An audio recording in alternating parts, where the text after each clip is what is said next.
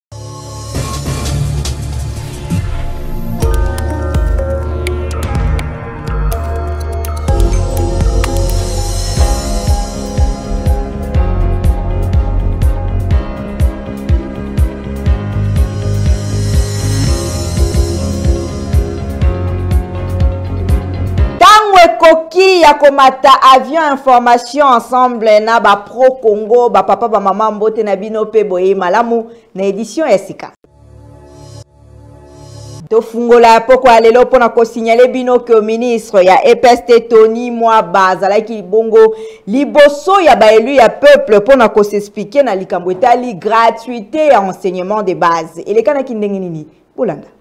Ezalaki nde depute national Floribert Loyola oyo adressaki question orale avec debat na ministre ya EPST Tony Mwaba, elu oyo alingaki obtenir na ministre budgetisation ya ba milliers ya ba enseignants mecanises Kasi ti lelo ba futamaka kaka te. Mecanisation ya ba nouvelles unites oyo ba bengaka ba NU mpe ba nouvelles ecoles oyo ekotaki na dernier controle, augmentation ya ba frais ya fonctionnement mpe misusu. Na boye ministre Tony Mwaba azalaki liboso ya ba elus ya peuple mpo na ko s'expliquer, mingi mingi alobelaki likambo etali gratuite ya enseignement de base. Atalisaki ke yango ezalaki institue epai ya mokonzi ya mboka Felix Antoine Tshisekedi bipai wapi ba enseignants bakanisaki ko trouver ba reponses adequates na makambo etali ba salaires na bango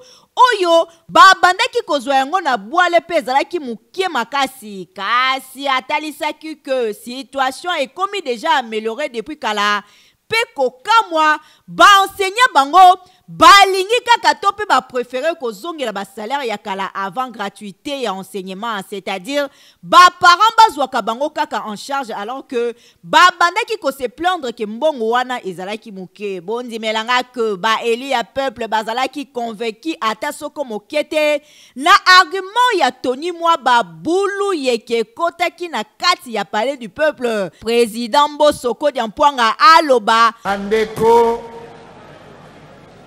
oyo tozo benga public bozala calme,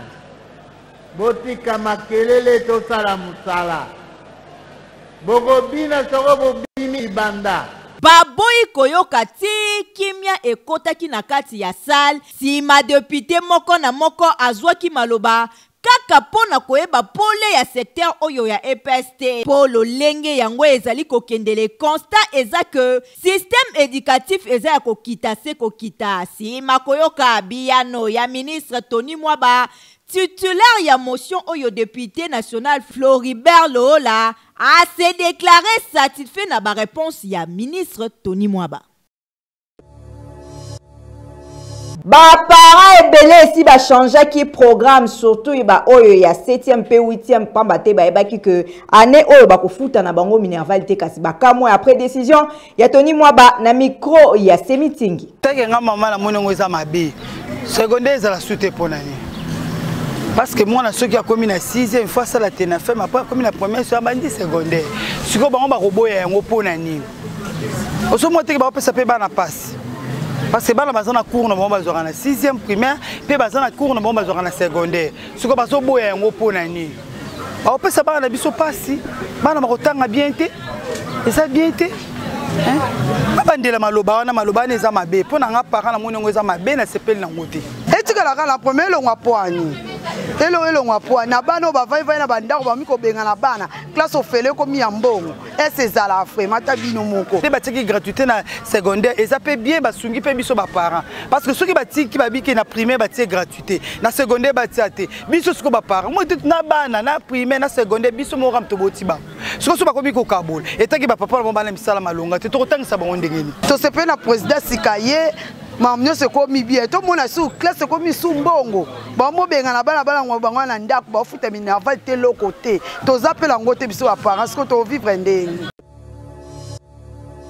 Enfin, ministre ya communication Patrick Komuyaya andimi que ba militaires ougandais baza bongo kuna na Beni kasi pona ko porter main forte na ba FRDC pona kolonga banguna oyo tobengi bongo ba ADF na lo. Thierry Kelekele ba détails.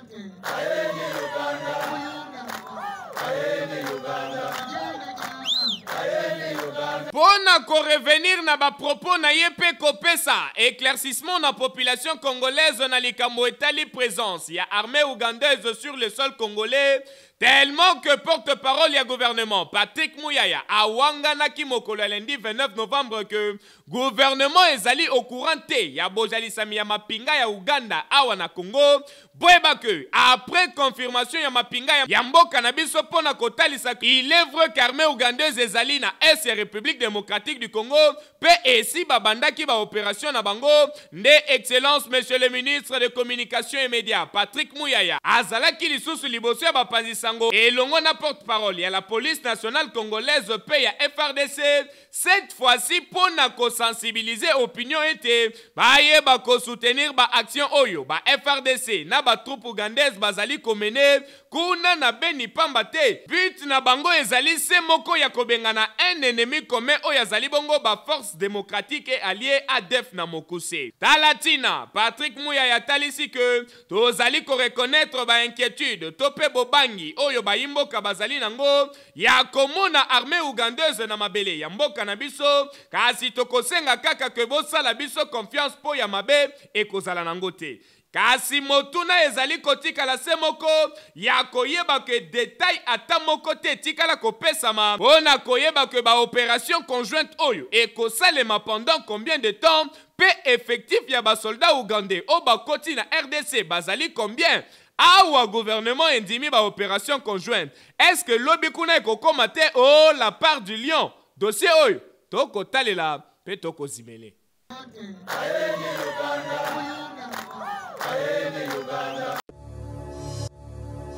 Ba demolir ba constructions anarchiques nionso na kati ya concession ya OCPT elekanaki ndenge nini bato oyo batonga ba ndako na ba oyo batekaka Baleli Semi Ntingi azalaki sur place na compte ya Pro Congo Mag.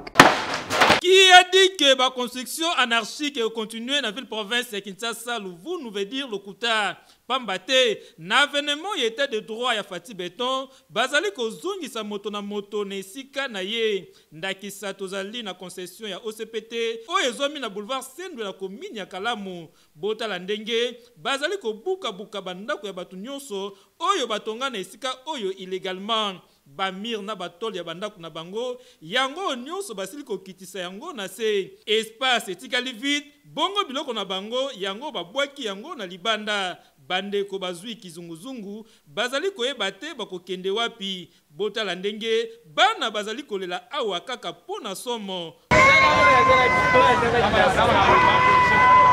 Kutu mama oyo atie maboko na motu azali kondima te ke likambo oyo ekokaki kokomela bango na mokolo oyo ya lelo, babwaka biloko na bango nionso libanda. Kasi na koyoka bango koloba, Batalisi ke esika oyo ezali ya bango. Lopango oyo eza ya biso. Tosomba yango depuis 2000, 2013.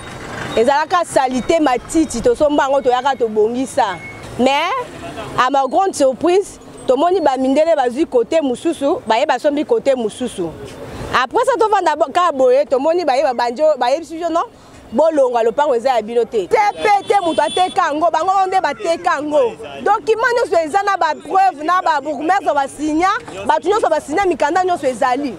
bapreuve nyonso soki ezagi ya kolakisa bapreuve tozokende nyonso eza na parke bapreuve eza meme situation na site ya gombe oyo ezwami bongo en face ya ifatrik kuna mpe bayebi na kobuka baterase ya bato nyonso oyo batonga na esika oyo illegalement. Kasi tango topesaki bango maloba, batalisi que ata ko esika oyo Roger Ngandu ayebi na ko louer yango, kasi bakokaki ko buka biloko na bango lolenge oyo te. Soit disant kermesse.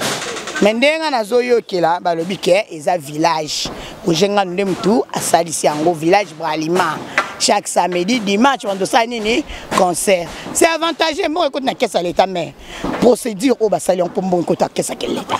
ils ont détruit les gens En tout cas, kobuka ba construction anarchique ezali na yango mabe te, kasi tokosenga kaka esalema na lolenge elongobani pamba te ebongi yambo ko prevenir bandeko enfin que bazwa ba dispositions necessaires pamba te ko surprendre bango boye ezali kitoko te. Avançons seulement Po lobi ekoleka lelo. Ata ko baza ko demolir ba construction na Chiko ba ndeko mususu mutu makasi ba yoka kate ndeko moko na lemba imbu ya kanga na ye avenue na mur ya lupangu na ye e ko kamwa bore le luzolo temoin evenement. Bitongela mwanza na trafic d'influence ekosila mukolo nini na Republique Democratique du Congo? Tozali na commune ya Mongafula, plus precisement na avenue Ingala Lemba Imbu. Lopango oyo bozali komona boye, mokolo nango kombo na ye monsieur Fabrice Likala. Asomba lopangu na ye lokola batu nionso kasi lokola azali ayant droit, alekisa na ye limite ya lopangu na ye, atonga na balabala, parcelle na ye ekanga na yango avenue ndenge kaka bozali komona. Ekoma kopesa pasi na ba habitants ya coin oyo, bakoma na ba difficultes Po na kokota na avenue, il faut kokende kobaluka ti na rayi, sima nde bakoti na avenue. Ya kokamwa eza que abuka meme ndaku ya chef coutumier voisin na ye kokamwa, abanga na ye bokoko te, kasi botala ndenge alalisi yango na se, alekisi mur na ye ya cloture. Kutu selon ba informations tozui sur place, alia ba limites ya huit parcelles mokoka Kaka na kati ya avenue oyo. Kasi soki ba voisins bameki ko reclamer, abengelaka bango la police en complicite na chef du quartier ya cote oyo. Trafic d'influence na ye elobi nga ye yo, okoyoka ye koloba que azali Kasaien, bango nde bazali na pouvoir, yango aniati bango lokola ba kayasi. Batiela ye ba plaintes ya ndenge na ndenge na justice, lokola etat de droit ezalaka na poche na ye, ti lelo basalaka ye eloko te. Tango bamonaki camera ya Pro Congo, ba victimes bazangaki koloba te, boyoka ndenge chef coutumier Davin asololi. Makambo oyo naza nango na terrain oyo ekomi kosukisa ngai, esukisi ngai na ndenge ya leta te, mais ba action nakomona ndako oyo magasin na ngai, tala ndenge atoboli yango, apasoli yango, epuis asomba lopango moko mais tala mo etandi nyonso asoma lopango moko ya 20 mètre carré mais tala eloko asali ake kobeta certificat ya mabele nyonso oyo mabele oyo nyonso oyo alobi ya ye voire même maître avocat na ye akomi mason awa toza na état de droit état de droit ezali ya solo mais bato oyo bamosusu bakasani ya nsima oyo soki bawuta wapi bazolinga bazwa bango nde bazolinga balongola état de droit mais toza nayebi ke toza na état de droit na dossier oyo tokosenga kaka na justice congolaise Esala mosala na yango ndenge elongobani parce que makambo ya djalelo, tubatuba na trafic d'influence o nga leki ya esila dejà tokoma na etat de droit donc batu ya boye place na bango ezali na prison centrale ya makala akende nanu kolia vungule matama ekoma ye lokola moto abeli beriberi po na ba oyo batikali bazonga sima Ba lobaka que nul est au dessus de la loi kasi ye azo lakisa na batu que justice ya Congo ezali nde na poche na ye. Mort d'homme entre deux groupes euh, ya ba kulunaire ba ndongwanaki na ndenge ya kosakana te en tout cas phénomène oyo ekosila mokolo nini toza bongo na commune ya Nsele. Thierry Kelekele ba détails.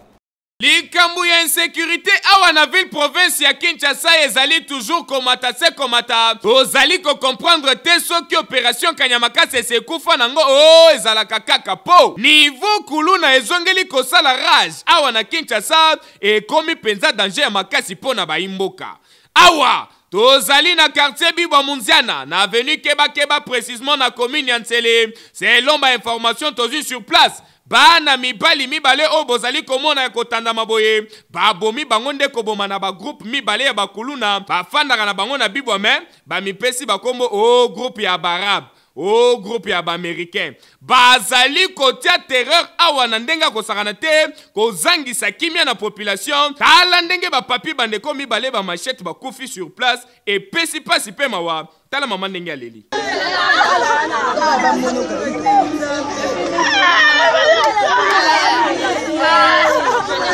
antuka tokosenga kaka na mon general silvano kasongo elongo na colonel bienvenu mokonzi ya changu antuka bomeka komultiplie baeffort mpe bastrategie mpo na koluka kosilisa fenomene ya kuluna oyo mpo lelo awa babomi mibale lobi to lobi kuna ekozala combien bosala quelque chose Po boye penza ekomi kobangisa. Direction ya Menkao kuna na commune ya Njili impraticable kutu mukie toyebi te soki topesa yango kombo nini toza na quartier 5 Gelor Tawaba a constater soki ezalaki ata pembeni ya fleuve to mpe ya rivière songolo pakala tolingaki tocomprendre kasi direction ya aveni menkao oyo Ekenda ti na quartier 6 kasi awa toza na quartier 5 na komini ya Ndjili mosika na fleuve kutu rivière eza nango pembeni awa te mpo toloba ke yango nde etindaka mai na direction oyo lokola mpe mai yango ezanga nango moyen ya kozala evacue tellement ke bambula ebeta ebeta ebeta mai ezanga kote ya kokende nde etelemi boye bozali komona population ya coin oyo alobi basala ko ndenge nini choix eza te bakoma na bango kaka kovivre ndenge wana bateki baza koteka likolo ya mai mpe ya bosoto toyebi te soki bazali kobanga bamikrobe te to ndenge nini kutu bakoma oblige ya kozinda mpe na mai yango ndenge boza komona bandeko oyo bana classe mpe balobi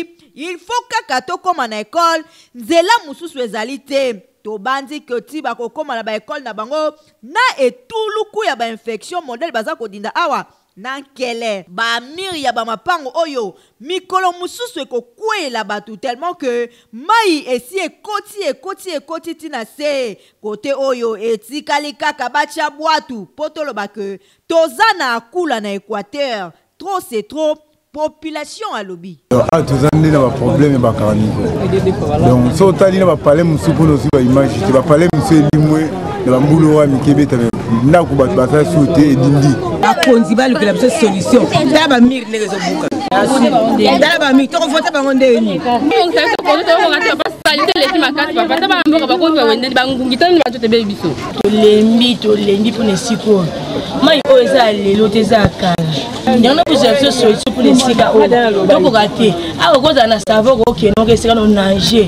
soki onanger osukuli na yo osuyeka mai ozongi poto en tout cas esengeli na ministère ya habitat mpe bandeko ya cadastre bazala mpenza na suivi makasi c'est-à-dire kolandela bato avant batonga bandako esengeli bakaniveau ezala nanu construit obligatoirement Po na ko eviter ba degats ya boye, bozelaka kaka te boyoka lobi kuna mutu akufi, sima boluka kosala eloko, po na français baloba, Vaut mieux prevenir que guerir.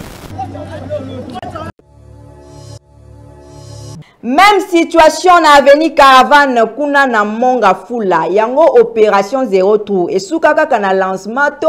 eza kaka lisolo tobeta.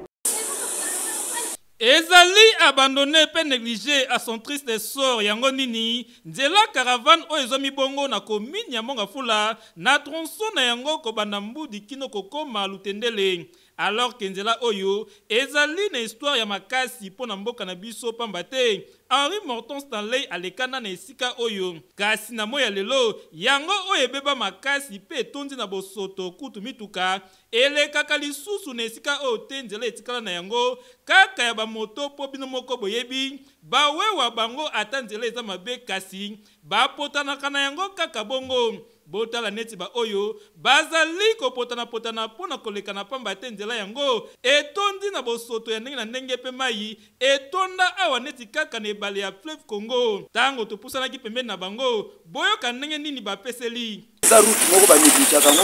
route stanley alekaka omoni stanley banda na ba congo ti aye aboye ayaka kokóma na mongalie malebe ekóma mont stalin alekaka boye eza néglige donc nde eza konéglige ya néglige bakonzi ebele bana baconfession kotoya me bakipaka yango te so mbula ebeti ya me catastrophe nde ozomona nzela oyo mais tosenga kaka soki leta aza na idee ya bien aluka arrange nzela oyo Kobongisa nzela oyo ezali na litomba makasi pamba te soki ebongi ekosunga makasi po trafic esalema entre Kinshasa la capitale na province ya Kongo central ekosala que fufu elongwa Kongo central ekota Kinshasa ba kinois balia pe basepela bakonzi ya l'etat awa lisusu il faut kaka tobelela bino Boye te bo bongisa. Avançons seulement po lobi eko leka lelo. Monument ya Lumumba toloba que ekoma nango abandonne pamba te ekoma na bosoto na ndenge ya kosakana te kutu ekoma nango mpe ndako ya bashege toyebi te toloba nini pamba te esika wana ezali place moko touristique mpe historique tokoki kokotisela yango mpe misolo te oyo bozali komona boye ezali nde monument Ya Patrice Emery Lumumba oyo azali bongo Premier ministre ya yambo mpe père de l'independance congolaise. Kasi kokamwa, basundola monument yango kaka boye mutu atala yango miso azali te. Consequence, yango oyo etondi na bosoto kaka ndenge bokoki komona na bilili. Botala bino moko ndenge ekoma na yango lieu ya repos ya ba fazeurs oyo bakoma koya kolala awa na moyi, après na butu babimi bimi pona ko agresse ba paisible population botala neti ba oyo ba lali na bango pongi neti kaka bazali likolo ya ba mbetu ebongo tango tobwakaki misu mopanzi botala ndenge etondi na matiti zamba ya ndangi kutu ekosa awa botika nayebisa bino soki okebi te okoki pe komona si mbiliki kobima na esika oyo na micro ya pro congo mag boyoka baye tokutaki wana ndenge ba regrette Komona bakonzi kosundola monument ya Lumumba lolenge oyo. Eza problème ya suivi na mboka na biso. Mboka na biso soki basali eloko ezalaka na suivi te. Surtout eloko neti ya ba monument, on appelle ça un monument. Mais les gens ne savent pas venir koyaka ko entretenir eloko. Eza te kaka soki tokomi le 17 moko boye to le 16 moko boye nde il faut oya ko sala. Il faut ko bato baluka misala baza ebele. Ko engager bato moko boye bandaka soin ya ba eza edifice moko boye ya mboka oyo ezo reflete image bakonzi ya mboka baluka solution mpona kobongisa esika boye te boye te bakonzi bozala kaka le 17 janvier te mpo boya kobongisa esika oyo na occasion ya ceremonie ya kokanisa liwa ya patrice emery lumumba kasi soki mpe botieli esika oyo mayele ekoki mpe kokotisa mbongo ebele na kesi ya leta na cadre kaka ya site touristique pamba te patrice emery lumumba azalaki n'importe qui te na afrique Ezala na mon na esika ya kowela kosenga minu na ezonga oyo ezali na yango pe mabe te, bobanda nanu kobongisa monument oyo. Avançons seulement po lobi ekoleka lelo. Ciboulette to pe ndembi ezali legume oyo tosalelaka mingi na ba ndaku nzokande ezalaka pe remede ndenge Borelo Luzolo akolobela biso na commentaire na ye. Ciboulette to ndembi na lingala eza plante moko aromatique ya famille ya ba plante oyo basalelaka misisa na yango souvent ezalaka cultive grâce ya bafeuille na yango mingimingi ezalaka utilise lokola condiment bafeuille na yango ya fraîche ezalaka utilise ya kokata mobesu mpo na koaromatize yango na salade na badivers préparation culinaire lokola bafine herbre misusu Et comme la carence, il y a un régime alimentaire déséquilibré parce que y a des vitamines C, B, D, NACA, calcium, sodium, phosphore, na fer, na yango, ezalaka bénéfique pour la circulation ya makila et favorisaka élasticité ya vaisseau na préserver contre bavieillissement prématuré. Kutu selon baétude épidémiologique e demontre que ko consommer ndembi régulièrement esungaka na mobange na prévention ya cancer ya estomac ezalaka na gout moko ya bien na biloko ya kolia kutana na mwasi ya muyombe alambela yo pondu ya madesu ndembi ekoka na kati okoyoka seben olembola sani ofiba misapi na yango bareporter ya pro congo mag bakitaki na komine ya nsele mpo na kokutana baloni ndembi biso tolonaka biloko oyo mpo esungaka mabota esungaka mpe donc mokili mobimba nde toza boye ekendaka mosika ntina poto ndembe ekendaka yango wana tobandaka kolona nde topikoli boye bazolona babaloli nani bande sikoyo nde bazobongisa ndenge wana etika moke babanda kolona ntango bazolona ndenge wana ekokisi une semaine otie compose engrais chimie ntango ekokisi ekokokisa de semaine otie fiante fimie awa ah, toni nde tolona boye toloni kolona kokatana soki ekoli neti boye moto aye asombi akati un certain temps kobima bagene ete ebimi bongo apres tobandeli yango lisusu kolona nde mosala tosalaka oyo tosala mbongo nde mosala oyo bocomprendre bavertu na babienfait mpe bomoni ndenge nini balonaka ndembi mpo bomesana kosalela yango na makusa kasi bosimba mpe boyeba ke apres kolona ndembi babukaka yango nsima ya 3 à 5 mois esengaka mpe kobukaka mitu na yango mpo na epermettre ndembi ekola malamu Kolia ndembi ekauka ezalaka deconseille mpo eperdaka gout na yango ya kitoko epuis ekoki kocreele bino bamaladi ebele na sante. tokende bongo na sud kivu esika wapi badepute nationaux balingeli bongo gouvernement ngwabije bulo balingi kaka badestitue bango bakolongwa to bakolongwa te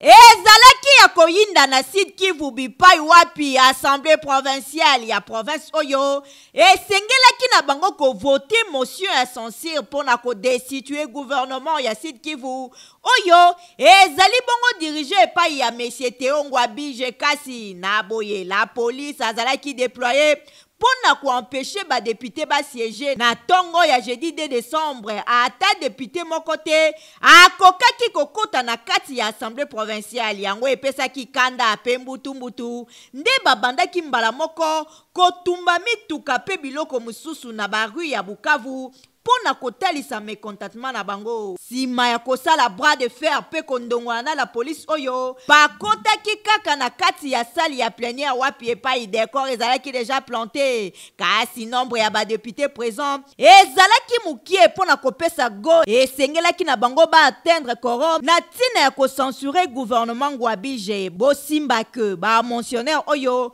Baza ko reprocher exectif provincial oyo na megestion, incompetence, outrage na organe deliberant pe bongo na bongo. Selon ba sources ebele, Gouverneur Ngwabije aza dejà awa na capitale ya Republique democratique du Congo c'est-à-dire na Kinshasa bipayi wapi abengamaki na lombango epai ya ministre ya Interieur Daniel Aselo mpo na makambo nionso ezali kolekana na province wana. Teyo Ngwabije na gouvernement na ye Bakokende to bakokende te, dossier oyo ezali à suivre.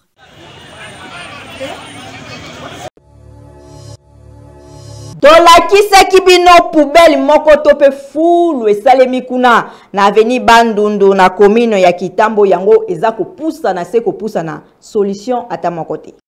Kaka ndenge bokoki komona ngo na bilili ti na moi ya lelo, solution ata moko te etikala kozwama mpo na fulu oyo ezwami na avenue Bandundu na commune ya Kintambo. Population ya coin oyo bazali tellement expose na ba maladi ya ndenge na ndenge pamba te ba tonne na ba tonne ya basolo oyo bazali ko respirer awa tolukela yango nkombo plus grave encore ngomba ya fulu oyo ezali nango mosika te juste na nsima saint georges bavie ya bana bato ezali vraiment en danger bondimela nga ke malgre epekisama kobwaka matiti place oyo kasi bato ya pusu oyo babelelaka bwaka matiti nde bazali koyoka te bazali toujours kobakisa poubelle place oyo tala ndenge ekomi ti na niveau ya kokanga nzela mwaye kutu bato balekana lisusu awa ikeleve na mikro ya pro congo mak population babeleli eza normal te balonga pene kuzabola fulu olonga